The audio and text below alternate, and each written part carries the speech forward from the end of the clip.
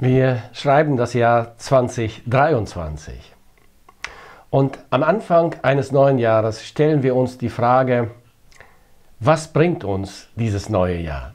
Was erwartet uns persönlich? Was erwartet unser Land, unsere Welt? Was kommt auf uns zu? Nun, Wirtschaftsexperten und Zukunftsforscher haben in diesen Wochen Hochkonjunktur und sind sehr gefragt. Das Interesse an der Zukunft ist richtig. Es ist gut. Der Mensch hat ja ein Bedürfnis, nach vorne zu schauen und möchte die Zukunft kennen. Gott kennt dieses Bedürfnis der Menschen und Gott kommt uns entgegen. Kein Buch der Welt kann sich mit der Bibel vergleichen, wenn es um die Zukunft geht. Die Bibel berichtet uns nicht nur über die Vergangenheit, zum Beispiel über die Entstehung der Welt und die Ursachen für Not und Leid in der Welt, die Bibel berichtet uns auch ausführlich über die Zukunft. Sie tut das mit vielen Details und Einzelheiten. Alle Zukunftsinformationen der Bibel sind zuverlässig, denn der Autor des Buches ist der allmächtige Gott, der Schöpfer der Welt selbst. Uns, seinen Kindern, gibt Gott die erfreuliche, beruhigende, feste Zusage, Unsere Zukunft ist sicher und sie wird gut. Sie wird sehr gut. Die Apostel haben die Zukunft immer im Blick gehabt. Und sie haben sehr viel von der Zukunft geredet. Sie begnügten sich niemals mit der Gegenwart, die oft nicht rosig aussah für sie und die ersten Christen. Sie wussten, dass die christliche Hoffnung immer auf die herrliche Zukunft ausgerichtet ist. Nun, die herrliche Zukunft der Kinder Gottes beginnt mit der Wiederkunft des Herrn Jesus Christus. Der zweite Advent steht noch aus, aber er wird unbedingt stattfinden. Diese Botschaft vermittelt Paulus immer auch allen neu bekehrten Christen, die häufig sofort mit Verfolgung konfrontiert waren.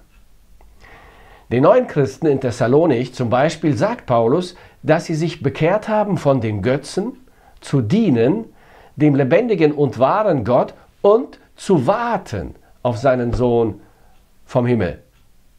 Er legt ihnen ans Herz, ihr Leben hier und jetzt so zu leben, dass sie immer das Kommen des Herrn Jesus und ihre Begegnung mit ihm im Blick haben.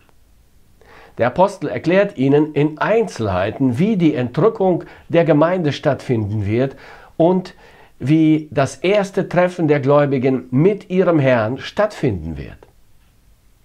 Er sagt ihnen auch, dass sie deshalb nicht unendlich traurig sein müssen, wenn ihre lieben Familienangehörigen versterben und zu Grabe getragen werden. Denn an dem Tag, an dem Jesus wiederkommt, wird es ein Wiedersehen mit ihnen allen geben.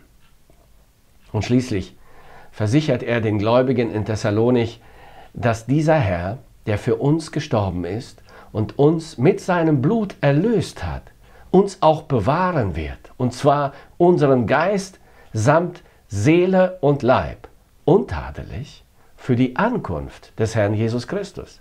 Denn er, sagt Paulus, der uns berufen hat, er ist treu. Er wird es auch tun. Die Zukunft ist sicher. Das Problem vieler Christen heute ist, dass sie ihren Blick nur auf das Diesseits gerichtet haben.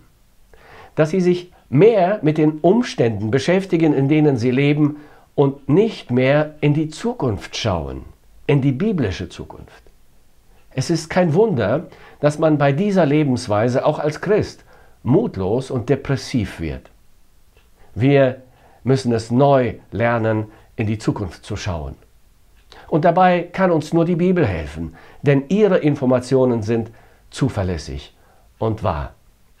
Wir leben in der Erwartung der Wiederkunft unseres Herrn Jesus Christus.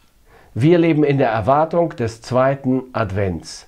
Die Zukunft ist sicher, die Zukunft ist gut, denn Gott ist treu und Gott ist gut.